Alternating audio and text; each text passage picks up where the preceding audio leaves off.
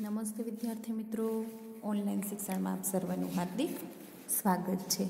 આજે આપણે ધોરણ છ, વિષય હિન્દી, જેમાં આપણે આગળ પહેલું કાવ્ય શીખી ગયા છીએ. તો હવે તેનું સ્વાધ્યાયમાં આપણે પ્રશ્ન ત્રણ પહોંચ્યા હતા. તો બધા જ વિદ્યાર્થી મિત્રો, પોતાની પાઠ્યપુસ્તક ખોલશે અને પેજ નંબર પાંચ ખોલશે, જેમાં આપણે પ્રશ્ન ત્રણ આપેલો છે. જ્યાં ધ્યાન આપશો છે હવે પ્રશ્ન નંબર ત્રણ આપ્યો છે કે નીચે દીએ ગયે ચિત્રો કો દેખકર ચિત્ર કા વર્ણન અપને શબ્દો મેં કીજીએ આપણને ચિત્ર સરસ મજાનું આપ્યું છે.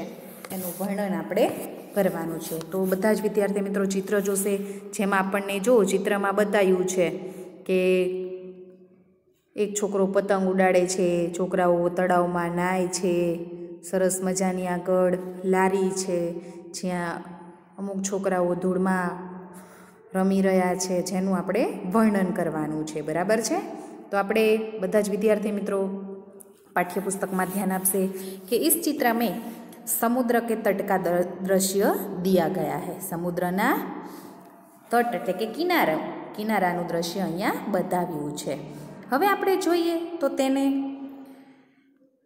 કે સમુદ્ર के एक नाव है जिसमें पाल पर ध्वजा फरक रही है દો વ્યક્તિ નૌકા વિહાર કર રહે હે એક લડકા તેર રહે જે તમે તમારા ચિત્રમાં જોઈ શકો છો એક લડકા गेंद से खेल रहा है।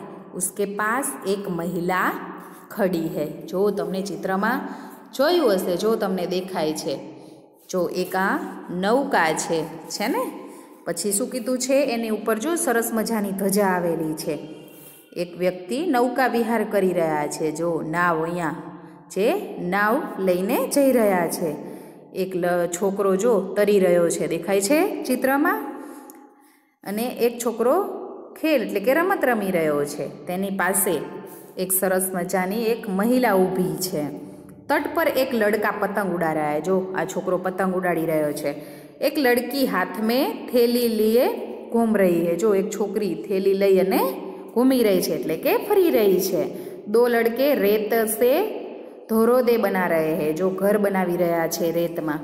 એક ગુબારેવાલા ખડા હે. ગુબારેવાલા એટલે કે ફુગાવાળો. જો ફુગાવાળો ઊભો છે, એક લડકી મૂસે, ફૂકર ગુબારો મેં હવા ભર રહી હે. જો આ ઊભી ઊભી હવા ભરે છે, ફુગામાં દેખાય છે બાળકો? આઈસ્ક્રીમવાલા ગાડી લેકર ખડા હે. જો અહીંયા આઈસ્ક્રીમવાળો ગાડી લઈ અને ઊભો છે. એક મહિલા उससे आइसक्रीम खरीद रही है जो एक महिला आइसक्रीम ने खरीदी रही છે पास में उसका बच्चा खड़ा है તેની પાસે જો એક બાળક ઊભું છે बाई तरफ कोने में छतरी के नीचे मेज कुशी लड़ा લગાઈ દો વ્યક્તિ બેઠે હુએ હે જો શું કીધું છે અહીંયા જો ખુરશી લગાવી અને છત્રી જ્યાં જો તમે જોઈ શકો છો, બે છોકરાઓ બેસી રહ્યા છે. દેખાય છે ચિત્રમાં? હા તો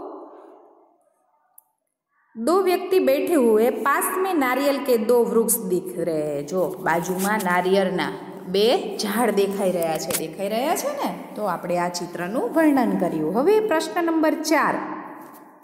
શું કીધું છે કે નિમ્નલિખિત પરિચ્છેદ કા માતૃભાષા મેં અનુવાદ કીજીએ જેનું તમારે ગુજરાતીમાં અનુવાદ કરવાનું છે, ભાષાંતર કરવાનું છે. હવે જોઈએ તો આપણને પેરેગ્રાફ શું પહેલાં આપ્યો છે. પહેલાં આપણે પેરેગ્રાફ જોઈ લઈશું કે એક ચીડિયા પેડ પર રહેતી હતી. ઉસકા ઘોંસલા પેડ પર થા. જો એક ચીડિયા પેડ પર રહેતી હતી એટલે કે એક ચકલી વૃક્ષ ઉપર રહેતી હતી. ઉસકા ઘોંસલા પેડ પર થા એટલે કે એનો માળો વૃક્ષ પર હતો. હવે આગળ જોઈએ તો કે ઘોંસલે મેં ઉસકે તીન બચ્ચે થે.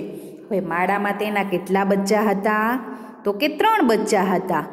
વહ આપને બચ્ચો કે સાથ રહેતી હતી તે તે પોતાના બચ્ચાની સાથે રહેતી હતી. એક દિન એક શિકારી વહા આયા. એક દિવસ એક શિકારી ત્યાં આવ્યો. વહ ચીડિયા કો માર, મારના ચાહતા હતા તે ચીડિયા એટલે કે ચકલી. તે ચકલીને મારી નાખવા ઈચ્છતો હતો. ચીડિયાને બચ્ચો કો ઘોંસલે મેં સિર નીચા કર બેઠને કો કહા. તો ચકલી, ચકલીએ તેના બચ્ચાને માળામાં માથું નીચું કરીને બેસવા કહ્યું. હવે આગળ જોઈએ.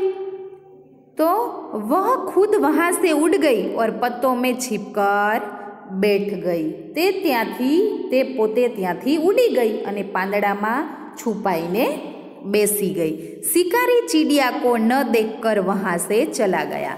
શિકારી ચકલીને જોઈને શિકારી ત્યાંથી જતો રહ્યો. હવે આગળ જોઈએ તો પ્રશ્ન પાંચ. જેમાં આપણને આપ્યું છે કે કાવ્ય પંક્તિયા કા ભાવાર્થ લીખીએ. તેનો ભાવાર્થ લખવાનો કયો છે?